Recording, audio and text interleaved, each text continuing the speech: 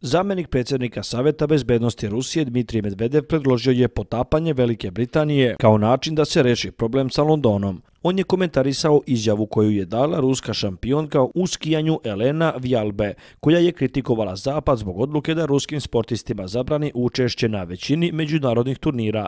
Da smo bacili bombu na centar Londona, do sad bi sve bilo gotovo i učešće bi nam svuda bilo dozvoljeno, rekla je proslavljena skijašica. Medvedev, inače poznat po tome da nema dlake na jeziku, rekao je da postoji efikasniji način za rešavanje problema. Naša poznata skijašica Elena Vjalbe je predložila da bacimo bombu na London. Ona je u pravu, ali moramo radikalno da rešimo problem i potopimo prokleto ostrvo anglosaksonskih pasa, rekao je Medvedov prenose medije. On nije precizirao da li se problem odnosi na sport ili uopšteno na odnose Rusije i Velike Britanije.